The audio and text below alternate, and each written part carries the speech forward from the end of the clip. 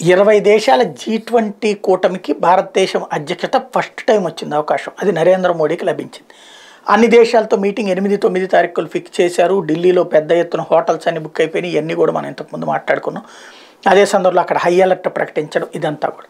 అయితే దేశాధినేతలు క్రమంగా హ్యాండ్ ఇస్తున్నారు. నరేంద్ర మోడీకి అత్యంత ఆప్తుడైన మిత్రుడు పుతిన్ తను రావట్లేదని తనకు కొన్ని ఇబ్బందులు ఉన్నాయని తన తరపున అలా రక్షణ మంత్రి సెర్గోను పంపిస్తున్నానని ప్రకటించాడు.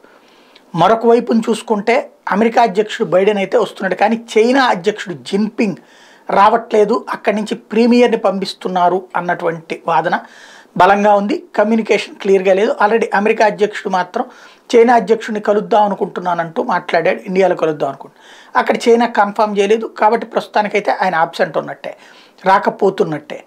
మరొక వైపున తాజాగా ఎవరైతే ఇక్కడ ఈయనకి బాగా క్లోజు. నరేంద్ర మోడీకి బాగా క్లోజ్ అయినటువంటి సౌదీ అరేబియా యువరాజు ప్రధానమంత్రి మహమ్మద్ బిన్ సల్మాన్. ఆయన కూడా రావట్లేదు. ఇప్పటిదాకా తన టూర్ కూడా కన్ఫామ్ కాలేదన్నటువంటిది ఇప్పుడు సంచలనమైంది.